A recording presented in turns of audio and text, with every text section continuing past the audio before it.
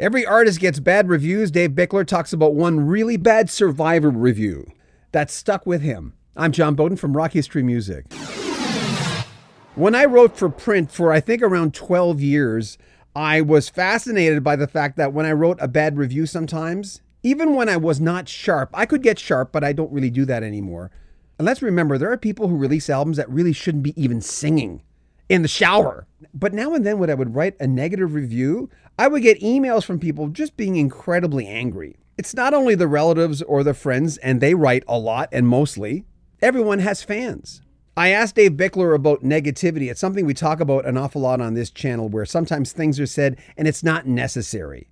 It's just done for hits. I could bitch about a lot of bands on this channel just for hits, but I won't do that. I don't want to be that guy. So I asked Dave Bickler, and he gave me a doozy story. I can't help it, but you know, you you do have to kind of just what can what can you do? You know, some people are going to like what you do, and some people aren't.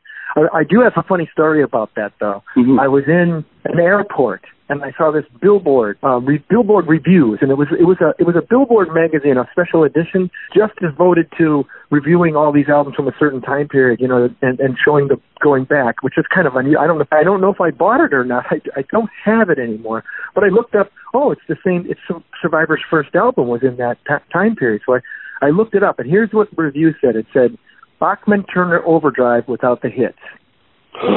how's that for how's that for rough? It didn't make sense to me though, because I I really like Randy Bachman. I like his voice, but I don't think we sound anywhere even close to to you know alike in any way.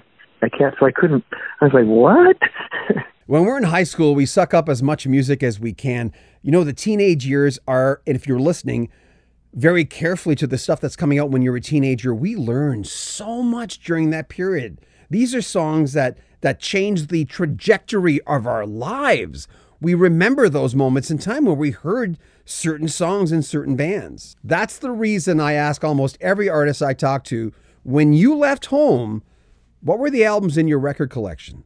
Because that phase, teenage phase, was done by then. Well, that would have been, uh, you know, I, it was about 1971 or 72 probably that I left. So you know, Led Zeppelin, The Stones, Bad Company. Uh. Dave Bickler's brand new album, which I'm totally in love with, is called Dark Light.